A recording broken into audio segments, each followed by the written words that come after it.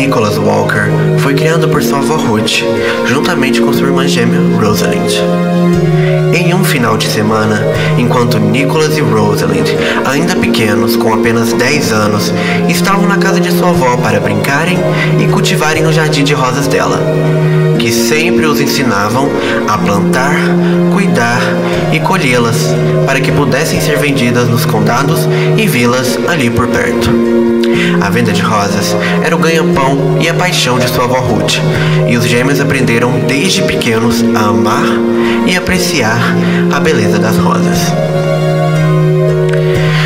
Chegando o dia em que os pais das crianças fossem buscá-los, isso não aconteceu. Preocupada, Ruth pediu a um vizinho que morava a alguns metros de sua pequena fazenda de cultivo de rosas para que os levassem na casa dos pais dos gêmeos. E assim foi feito, uma longa viagem para um condado próximo à fazenda de Ruth, onde os pais e as crianças moravam. Ao chegar ao local, se depararam com a casa totalmente destruída e incendiada, sobrando apenas vigas de madeira carbonizadas. E nenhum sinal Após esse dia, nunca mais se tiveram notícias do paradeiro dos pais dos gêmeos. Ruth, uma mulher muito cética e esperançosa, nunca quis acreditar que sua filha Rose e seu genro Niklaus haviam morrido naquela tragédia onde foram dados como mortos. Depois de todo esse ocorrido, Ruth criou seus netos com todo o carinho do mundo, ensinando-os a serem respeitosos, delicados e independentes. Nicholas e Rosalind tinham uma grande conexão desde pequenos, e após o desaparecimento e possível morte de seus pais, essa conexão se tornou ainda maior. Eles, juntamente com sua avó, nunca desacreditaram que os pais poderiam estar vivos em algum lugar.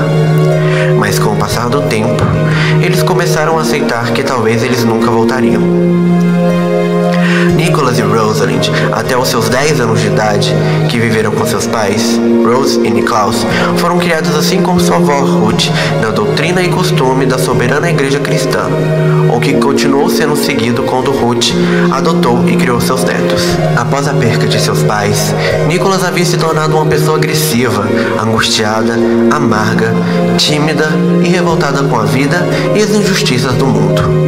Rosalind, por outro lado, era o que o mantinha nos eixos, para que o mesmo não cometesse nenhum ato no qual um dia pudesse se arrepender. Rosalind se tornou uma garota meiga, empática e extremamente compreensível. E toda noite, seja ela de lua cheia, minguante, nova, ela sempre chamava seu irmão e sua avó para ficarem apreciando a beleza da lua e o contraste daquela luz noturna sobre as rosas brancas, amarelas e vermelhas no pequeno jardim da casa de sua avó. Desde então, Nicholas adotou esse hábito de apreciar e contemplar a beleza da lua junto com a sua amada irmã. Em uma certa noite, Nicholas estava cansado e decidiu que não iria para o jardim com sua irmã para verem a lua e ficou em casa para dormir. No meio da noite, Nicholas se depara com gritos desesperados de sua irmã. Assustado com tudo isso, ele se levanta rapidamente de sua cama e vai em direção aos gritos. Chegando lá, se depara com sua avó desesperada com Rosalind em seus braços. Nicholas rapidamente perguntou o que havia acontecido e sua avó explicou que Rosalind havia sido atacada por um animal selvagem, provavelmente um lobo enquanto caminhava sozinha pelo jardim. Sem perder tempo, Nicholas e sua avó levaram Rosalind inconsciente para dentro da casa. Nicholas não conseguia deixar de se sentir culpado por ter escolhido dormir em vez de acompanhar sua irmã no jardim.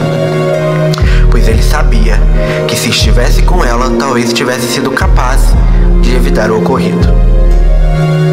Ruth fez de tudo para estancar o sangramento da mordida do animal no pescoço de Rosalind, enquanto Nicholas a segurava em seus braços tentando acordá-la. Mas todo o esforço de ambos não adiantaram e Rosalind acabou falecendo nos braços de seu irmão. Os dias de Nicholas e sua avó se tornaram extremamente vazios e obscuros. Nicholas não conseguia dormir à noite e sempre ficava olhando de sua janela a lua para se sentir mais próximo de sua irmã.